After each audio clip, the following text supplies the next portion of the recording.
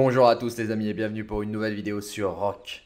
Aujourd'hui les amis, comme promis, on va s'intéresser au nouveau commandant légendaire et plus précisément, exclusivement à Harald aujourd'hui. On ira voir Zenobia lorsqu'elle sera disponible puisqu'il faut encore finir le MGE sur mon serveur, je ne l'ai pas encore mais j'irai vous chercher des infos ailleurs. Mais on va s'intéresser à Harald qui est actuellement sur certains serveurs, sur le mien par exemple, j'ai de la chance dans la roue de la chance. Alors j'ai de la chance, vous le savez, là je fais mon tour à 50% et en général c'est moisi, voilà, de l'or, c'est super, ça sert à rien. J'aurais bien évidemment préféré avoir 8 sculptures au niveau des events, hein, vous le voyez, rien de nouveau à part la route de la soie. J'espère que vous avez fait sur tous vos serveurs.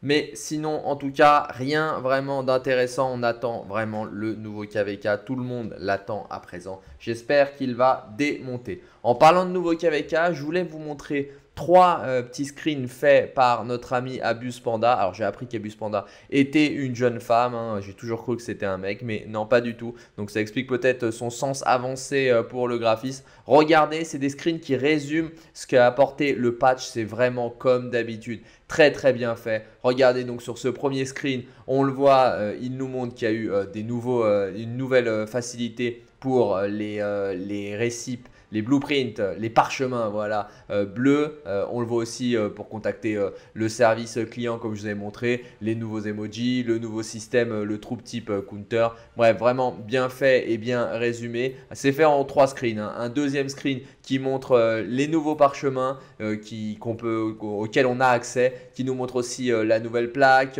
le, nouveau thème d'Halloween. On voit aussi à partir, je n'avais pas vu, du KVK 501, la nouvelle map de KVK. On voit directement sur la mini-map aussi où ils ont mis les éléments, le vent, le feu, etc. Je l'avais même pas vu, j'avais même pas eu la curiosité d'aller voir. Il faut ou être assez malin pour avoir été voir. Et le dernier screen qui nous montre bien évidemment Harald, Zenobia et qui nous montre qu'il y a eu trois nouvelles armes. Alors c'est des nouvelles armes qui avaient disparu et réapparu suite à la match parce avaient été jouées trop puissantes, elles ont été un peu nerfées. Et trois nouveaux casques, hein, à chaque fois, hein. trois nouveaux casques et trois nouvelles armes légendaires. Donc voilà pour ces trois screens, je les trouve vraiment très bien faits et je voulais donc les partager avec vous. On va s'intéresser maintenant à Harald, hein, notre très cher nouveau commandant infanterie. Et si je m'y suis autant intéressé pour ma part, c'est parce que j'hésite vraiment à le maxer. Alors comme vous le savez ou pas encore, hein, euh, j'ai actuellement 832 sculptures, hein, donc je peux vraiment euh, le débloquer et le maxer directement.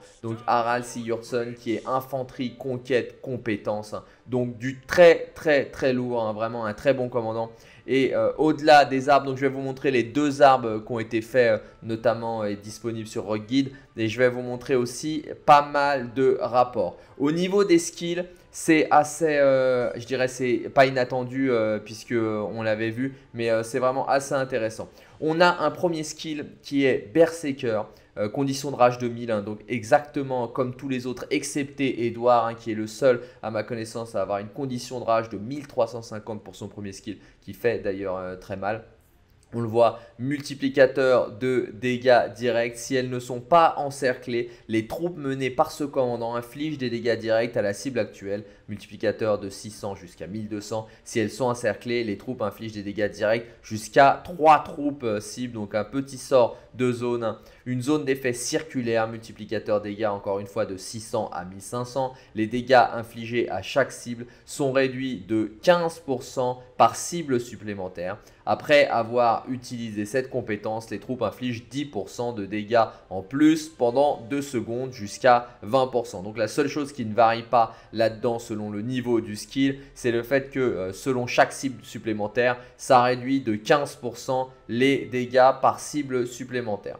Un premier skill vraiment bien puissant et qui a un sort de zone lorsqu'on est encerclé. Donc euh, vraiment il est sympa. C'est pas le plus puissant des skills qu'on ait vu mais il est vraiment très très bien. Le deuxième skill, hache de guerre viking. Lors de l'attaque de bastion et de ville, donc là on est sur euh, quelque chose euh, qui est pour la défense euh, ou l'attaque, enfin l'attaque en l'occurrence, pas la défense, je dis n'importe quoi. Les unités d'infanterie menées par ce commandant gagnent 2% jusqu'à 10% maximum d'attaque et lorsqu'elles subissent des dégâts, elles ont 10% de chance jusqu'à 30% de chance de réduire ces dégâts de 10%. ces effets de réduction des dégâts peuvent se déclencher une fois toutes les 5 secondes correction, elles ont 10% de chance et ça peut le réduire jusqu'à 30% et pas 30% jusqu'à 10%. Donc un bon skill euh, d'attaque hein, pour l'attaque de bastion et de Vous le voyez, c'est bien cette fois, ils ont bien essayé de traduire lors de l'attaque de bastion et de ville. Hein. les deux termes sont indiqués. C'est pas l'un ou l'autre comme on a eu des nerfs sur certains commandants malheureusement. Un deuxième skill euh, très intéressant, c'est un deuxième skill de l'arbre conquête. Hein. c'est toujours, euh, toujours sympa lorsqu'on le mettra en rallye leader par exemple, ce Harald Sigurdsson. Troisième skill, garde varangienne. Les unités d'infanterie menées par ce commandant gagnent 10% d'attaque et ça va jusqu'à 30%. Donc là, on est vraiment sur un skill infanterie et 2% de vitesse de marche jusqu'à 10%. Vous voyez, là, il y a 4 quand même bonus. Hein. C'est la première fois que je vois un, héros avec 4 bonus. Lorsque ce commandant utilise sa compétence active, toutes les unités d'infanterie de ce commandant gagnent 1% jusqu'à 5%, mais perdent 1% de défense et ça dure 8 secondes et peut se cumuler jusqu'à 15 fois. Alors ça, c'est énorme. Elles peuvent perdre en défense 5% jusqu'à 5% et ça se cumule 15 fois c'est énorme. Euh, ça fait qu'il va, va avoir vraiment quelques petits soucis, mais en tout cas, c'est un skill intéressant. On est vraiment, ils auraient dû l'appeler Berserk, ça. Hein. Un skill qui euh, monte l'attaque, mais baisse la défense. franchement, c'est plus euh, du mode Berserk comme on le connaît dans certains jeux de rôle, plus que de la garde varangienne. Dernier skill avant l'expertise, bien évidemment, le Stamford Bridge le pont de Stamford, euh, traduction euh, vraiment euh, trop trop dure. lorsque les troupes menées par ce commandant sont sur la carte et infligent des dégâts, ce commandant a 5% de chance de lancer sa compétence active et d'accorder à ses troupes l'immunité à tous les effets de réduction de défense. Ça c'est intéressant, pendant 3 secondes, cette compétence peut se déclencher une fois toutes les 5 secondes et la probabilité de déclenchement, c'est tout ce qui monte là, peut aller jusqu'à 20%. C'est tout bonnement énorme. Et si on regarde à présent l'expertise qui est Valhalla. Les dégâts de contre-attaque infligés, alors là c'est intéressant, infligés sur la carte sont augmentés de 20%. Si vous êtes encerclé, les dégâts de contre-attaque infligés sont encore augmentés. dégâts bonus égale nombre d'ennemis vous encerclant fois 2% avec une limite supérieure de 10 vous encerclant. C'est tout bonnement énorme. Cette expertise-là, elle est énorme à mon avis, elle est bien cheatée ça va faire très très mal en open field ou lorsqu'on va vous swarmer. À mon avis, là, ça va bien piquer. Alors les skills c'est bien, mais que vaut ce commandant? Avec qui le mettre? Avec qui le monter? Si vous l'avez, est-ce que vous allez devoir avoir Zenobia avec? Ou est-ce qu'on peut le mettre avec n'importe qui? Après, euh, ça dépend vraiment de votre style de jeu. Donc on va regarder un premier rapport. Encore une fois, la qualité est pas ouf, hein, mais c'est lisible. Difficile de récupérer des screens d'une très bonne qualité enfin de récupérer des screens en grand nombre à ce stade. Hein. je pense que peut-être dans la journée ou euh, dès demain on va en avoir beaucoup plus. Là on se retrouve donc, alors on est en plus on a le descriptif en dessous, vous le voyez, les deux sont expertisés des deux côtés, il n'y a pas de problème. On est sur du niveau 60 même si ce n'était pas obligatoire. Et on se retrouve avec euh, un commandant, d'ailleurs merci au N3X pour ce rapport. Un million euh, de troupes des deux côtés. On le voit d'un côté on a Guan avec Harald, de l'autre côté on a YSS avec Theodora, donc vraiment du solide de l'autre côté en défense. Et on le voit, Guan Harald perd face à YSS Theodora. YSS Theodora le démonte. Donc là, une belle, euh, je dirais une belle défense, que c'est plus de la défense côté euh, YSS Theodora, même si euh, ce n'est pas de la défense réellement puisqu'on est sur de l'open field. Et on le voit, vous avez le détail de tous les bonus. On le voit, ils se font quand même assez laminés. Hein. Il reste, on est à moins 1-3 d'un côté, moins 1-6 de l'autre. Alors, ce n'est pas des rapports comme on les a vus avec des Attila Takeda lorsque Attila et Takeda étaient sortis. Mais en tout cas, là, le binôme Guan-Harald n'est pas, euh, pas suffisamment puissant pour battre Theodora et YSS. On regarde un second rapport cette fois, ou cette fois toujours chez les N3X euh, bien évidemment, on est sur euh, du, euh, cette fois à l'inverse, hein, Harald Alexandre, hein, donc Alexandre en second, et en face toujours YSS Théodora. Et cette fois, ce n'est pas du tout la même chose comme vous le voyez. Euh, cette fois, le duo avec Harald et Alexandre fonctionne et le rapport est quasiment inversé. Hein. Moins 1,3 pour Harald, moins 1,5 pour YSS Theodora. Donc là, le binôme, si vous pouvez expertiser euh, Harald, il faut le mettre en premier et vous mettez en second Alexandre. Ça sera bien plus puissant face à, euh, un binôme classique de défense YSS Theodora. Donc là, le rapport est sans appel. Pour le moment, en commandant premier, vaut mieux mettre Harald. En deuxième, Alexandre. Guan, Harald, moins performant.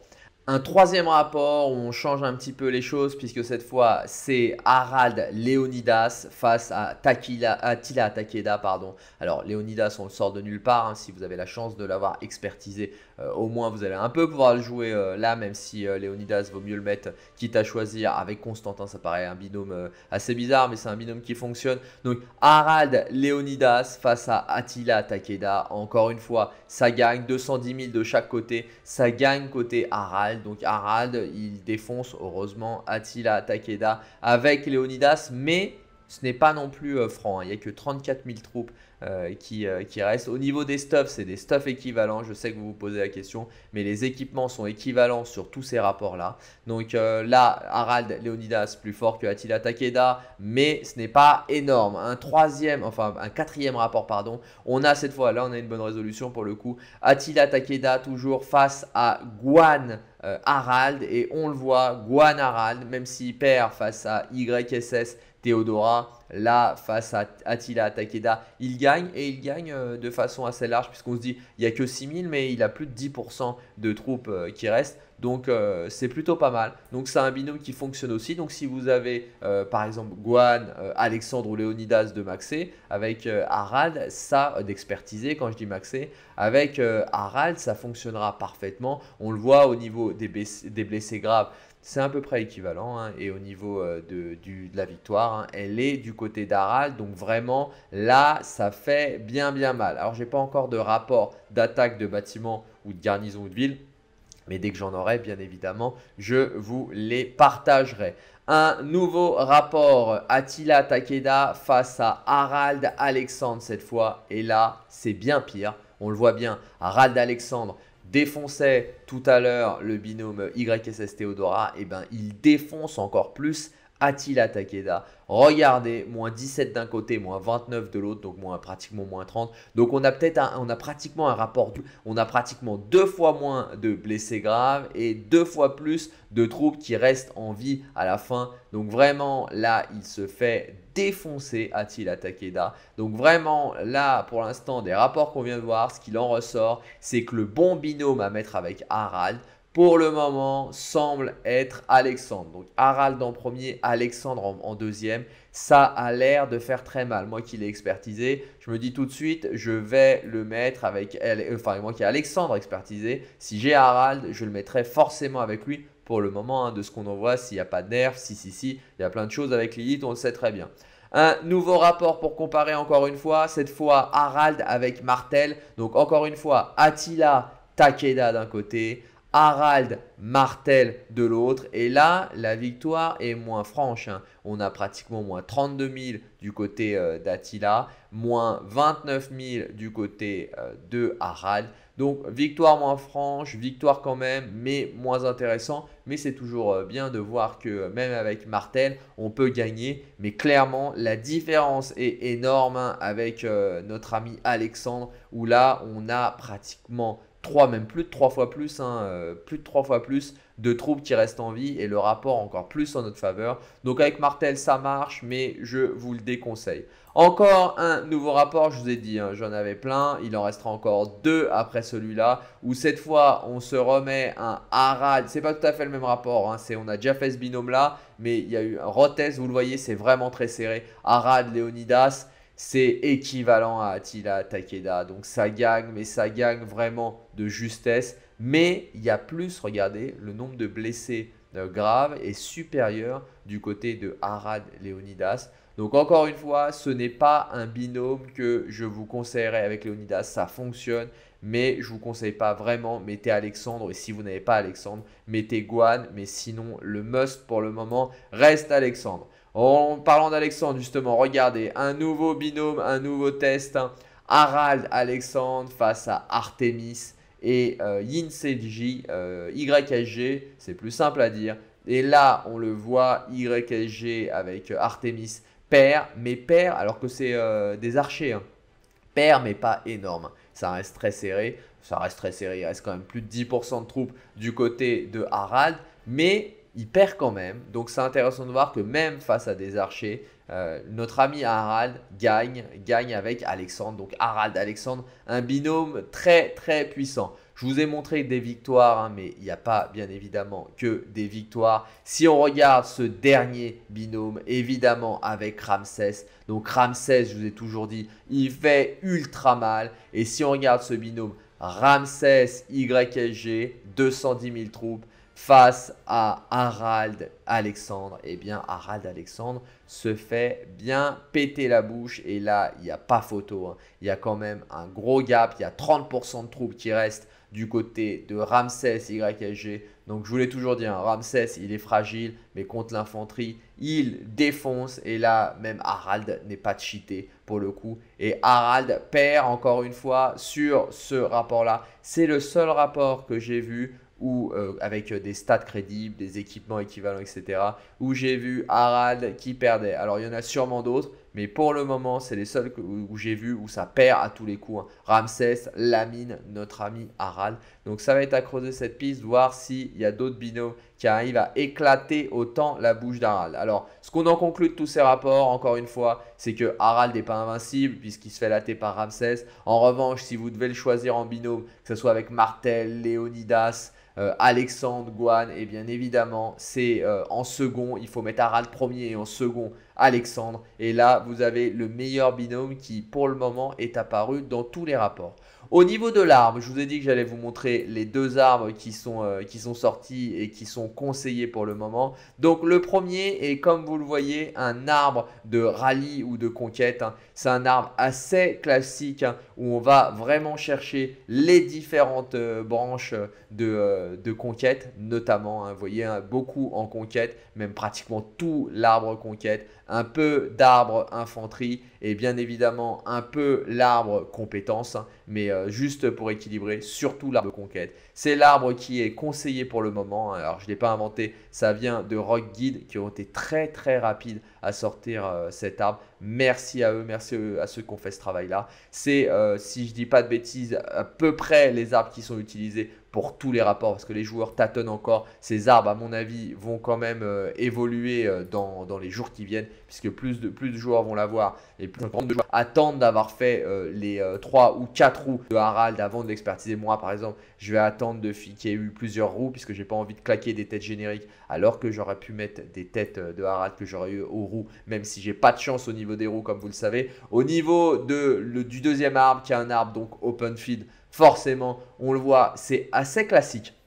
On va chercher euh, tous les skills en trois points en haut à gauche hein, sur l'infanterie. Donc là, on est vraiment classique. Et bien évidemment, en compétence, on va aller chercher l'arbre en entier. C'est vraiment un arbre classique, infanterie, compétence celui-là, on n'invente rien, c'est un arbre qui marche, qui fonctionne, qu'on a vu fonctionner par le passé. Donc vraiment, là, Harald, pour moi, il promet vraiment, et j'hésitais, je vous disais, hein, je ne sais pas si je vais claquer sur les, nouveaux commandants. Je vais attendre, j'ai le temps, hein, puisque j'ai les roues, mais euh, pour le moment, ma décision, c'est vraiment de maxer vraiment ce commandant qui a l'air tout simplement énorme Zenobia a l'air bien aussi, mais Zenobia, faut la gagner au MGE. Euh, ça devient plus compliqué sur certains serveurs, sur d'autres plus simple. Mais moi, je ne l'ai pas encore de toute façon MGE. Donc, euh, je pourrais vous en parler qu'une fois que j'aurai vu des rapports et que certains joueurs l'auront eu. Donc, au minimum, la semaine prochaine.